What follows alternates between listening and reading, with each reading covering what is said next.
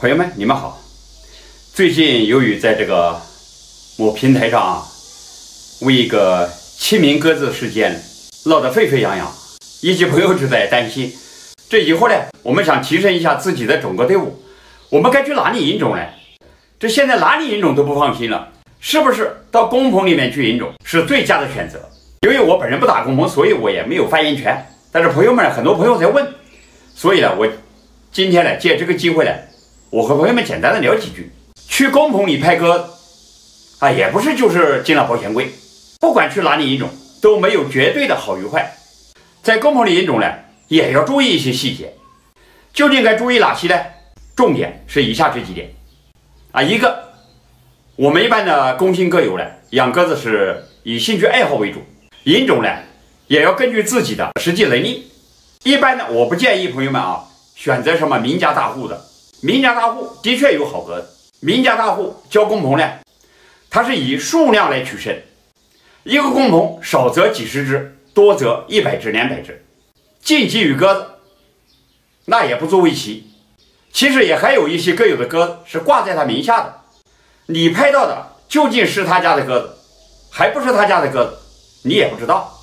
还有一点呢，值得警惕的是呢，有一些名家大户鸽子送的多，和有一些不正规的工棚，他们之间呢有协议鸽子，也就是呢，你送多少只鸽子，我工棚不会给你亏钱，肯定会给你进几只。如果你是拍到了这一类的鸽子回来，这只鸽子拍回来有什么作为，也就可想而知了。怎样在工棚里面拍鸽子？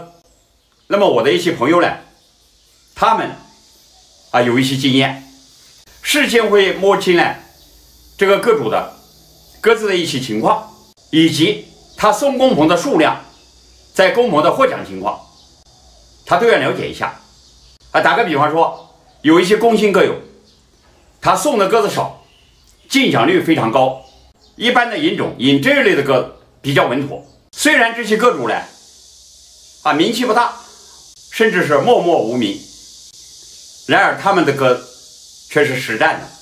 再有一个呢，引种呢，也不是完全看成绩。首先呢，根据你自己的情况，你自己的定向，你需要什么样的鸽子，再去精心挑选，也不要盲目的追求成绩。你买了两只冠军回来。